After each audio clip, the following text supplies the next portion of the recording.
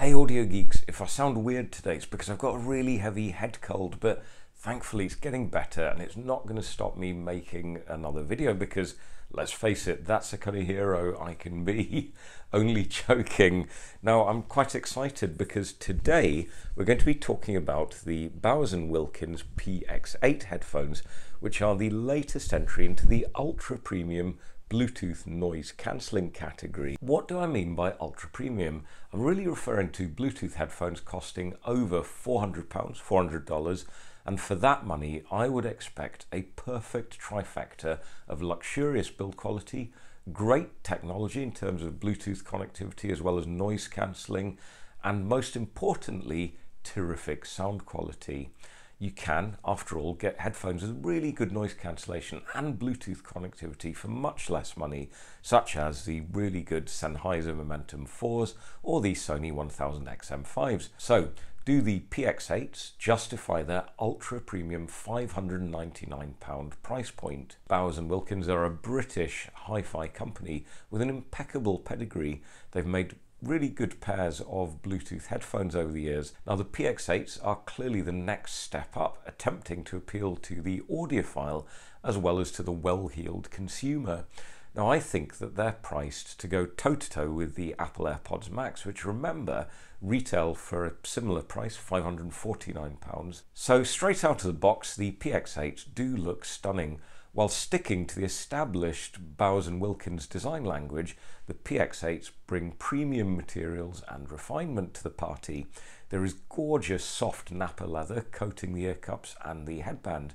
Now I really appreciated the wonderful sliding aluminium adjustment mechanism and even the buttons feel nice and tactile. Unlike the AirPods Max, you can turn these off completely and they charge via USB-C with a stated battery life of around 30 hours but that's with noise cancelling on and I have to give props to B&W for quoting the battery life with noise cancelling turned on because let's face it this is how most people will use these headphones. The buttons on the right ear cup control playback whilst a solitary button left toggles a noise cancelling mode you can also change the function of that button via the app to make it trigger the voice assistant, but unfortunately it can't do both, which is a shame. On some other headsets, a short tap, for example, would change the noise cancellation mode and a longer hold would activate the voice assistant, but we don't get that here. Weight-wise, they come in at 320 grams, but they feel supremely comfortable worn over several hours. The clamping force is medium I'd say, and there's not too much headband pressure either. The ear cups, however, aren't the biggest, so if you do have outsized ears, you might find that the cups um, exert a little bit of pressure on your ears. Oh, and you do get a fabulous hard case for carrying them around. They don't fold up completely, but the ear cups swivel in both directions so you can lay them flat. Case is very robust and inside it is a secret compartment which houses the supplied USB-C and 3.5mm cables. So Apple do take note for the AirPods Max version 2. So I think that we can confidently say that the first part of the trifecta, build quality, comfort, accessories, um, those are all excellent here with the PX8. So let's move on to have a look at the technology. These are Bluetooth 5.2 equipped and they support a wide range of codecs including AAC, SBC and various flavors of aptX including aptX HD as long as your phone supports that. Sadly there's no LDAC support which is a standard which has universally been supported by Android smartphones for the last few years. But look, I tend to not worry too much about Bluetooth codecs these days. It's very hard to tell the difference between aptX and AAC, for example, particularly when you're listening whilst you're out and about, which, let's face it, is usually the case. Remember, if you have an iPhone, the best you're going to get is AAC, and that's what the AirPods Max use for their audio transmission. The Bluetooth connection itself is rock solid even in crowded public areas, and these will fast pair with Android devices. They also support multi-point pairing so you can connect two devices at the same time and I've found it to work really well, seamlessly switching between audio on my MacBook Pro and my Pixel 7 Pro. It's the best implementation of multi-point that I personally have encountered. There's also an option to have music pause and resume when you take the headphones off, but I found this implementation to be a little bit flaky and it's a real nuisance, particularly if you're listening to an audio book or a podcast because you kind of don't know how much you've missed. The noise cancelling is better than I thought it would be. We're not talking about AirPods Max levels of isolation here, but it's good enough to cut down on the background hubbub. The noise cancelling is good enough that I don't need to crank up the volume too high to enjoy my music. Now the transparency mode is also surprisingly good. Ambient noise is transmitted in a reasonably natural way, so you don't get that same tinny robotic tone that you get with the Sony uh, XM5s, for example. There is a fairly rudimentary app which you can download to control all the action. In terms of sound signature, it offers the ability to tweak just the bass and the treble settings, which works okay, but it isn't a patch on the Sony app, for example. At least, however, unlike the AirPods Max, you do get the same features regardless of whether you're using an iPhone or an Android device. Um, so the tech is good, I think we can say, but now we come to the most important criterion for viewers of this channel anyway, which of course is the sound quality. Now I've been listening extensively for the last few days, the main sources being either my Pixel 7 Pro or my iPhone 14 Pro over Bluetooth. You can, of course, connect the PX8s to your device over USB-C or via the 3.5mm uh, adapter, but I must confess that I didn't really try that, as I think most people buy these to be used out and about as Bluetooth cans on the go. I think that there's a fair amount of digital signal processing applied to ensure that the sound remains consistent regardless of the volume you're listening at or the noise cancelling mode you're using. So the question you're going to ask is never mind all that tech waffle, do these actually sound ultra premium? Well, I can honestly say that these are the best Bluetooth noise cancelling cans that I've heard. So let's start with the weakest aspect, which is a pretty narrow soundstage. Now you're going to get that with any closed back headphone, leave alone Bluetooth closed back headphones. And the soundstage that we get here is neither particularly wide or deep. It is, however, convincingly 3D within those constrained limits. And the imaging and instrument separation that we get is also really good. I find it really easy to pinpoint where all the individual instruments are situated in the soundstage. So for example, listen to the first track from Gogo Penguin's excellent Between Two Waves album released earlier this year and at around the 50 second mark when the acoustic double bass slides in, it claims its own spot in the soundstage very distinctively. The other technicality which makes these headphones so good is the timbre of the mid-range instruments in particular and also of the treble percussive elements. Acoustic guitars and pianos in particular sound rich, full-bodied, lifelike with a convincing natural tonality. Now, one of my favourite tracks of all time is Says by Nils Frahm, which is an astonishing slow build of a track, encompassing a delicate, repeated synth motif accompanied by live piano playing, and the whole thing eventually builds into one of the most extraordinary and satisfying synth crescendos. If you haven't heard it, go and check it out. It is a transformative, transcendent musical uh, experience. I'm not overstating it, honestly. Now the PX8s convey the initial intimacy of Nils's piano playing and then when those synths kind of build and crash in, they effortlessly switch to give you that massive scale. It's a great way to experience this fabulous track. In terms of the timbre of percussive elements, cymbals sound very natural, lacking that awful and really off-putting metallic tin tinge that some cheaper Bluetooth headphones impart to them. Detail retrieval is okay, but it doesn't compete with something like a mid-range planar magnetic headphone like the Sundaras. Now it really is much better than the AirPods Max or the Sony's.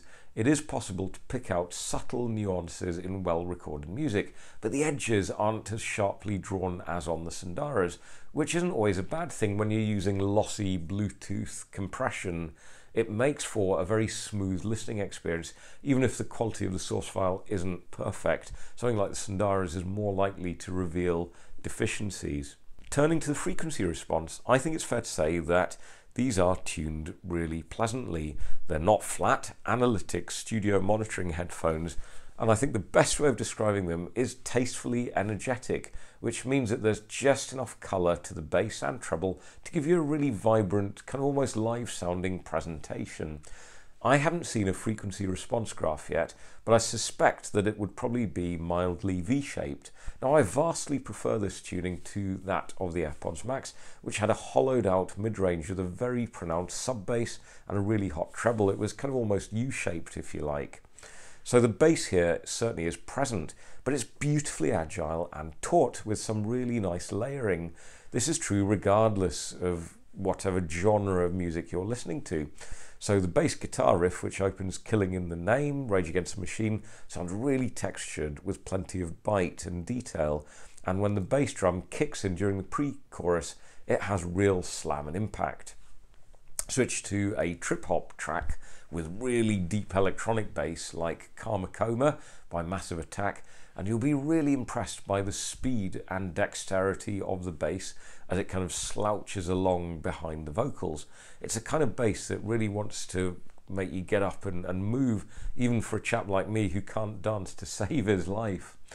The mid range is rich with vocals, particularly male vocals, sounding really full bodied.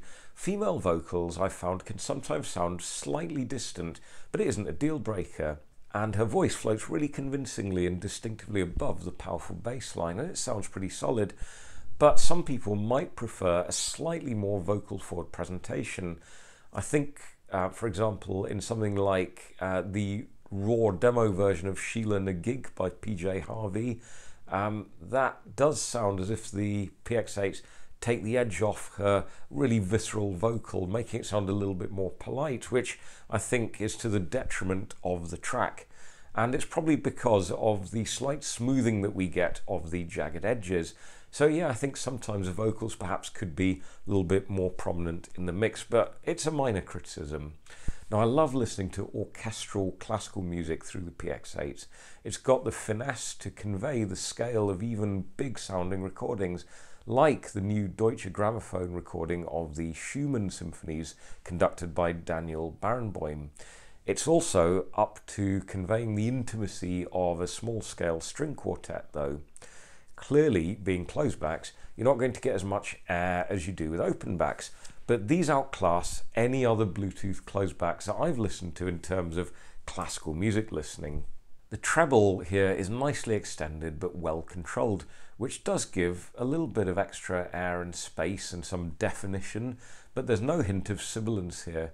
This isn't what I'd describe as a hot treble, but it does offer enough zing and pizzazz, I know those aren't audiophile terms, to prevent the PX8 from sounding dark or veiled. So for me, the tuning and technicalities are really good and I find listening to these out and about to give me 80 to 90% of the audiophile experience compared to listening to really good open-backed headphones, the HD 650s for example, at home.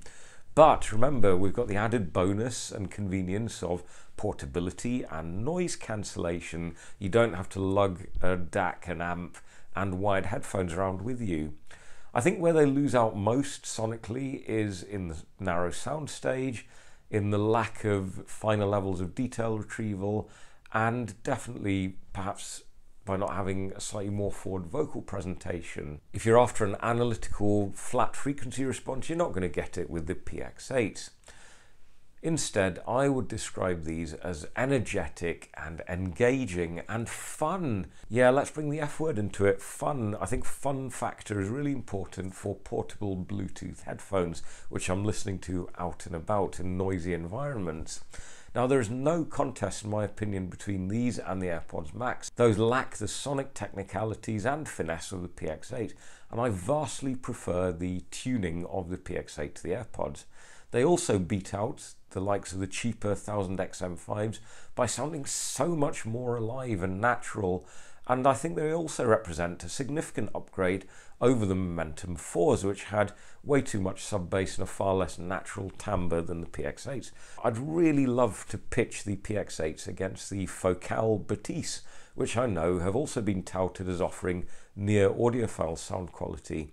In the UK, the Bathys are £100 more at £699. It would be fantastic to try a pair though. So Focal, if you're listening, or any other companies that would like to send me a pair of Bathys, please do send them over and we will do a direct head-to-head -head comparison with the PX8s.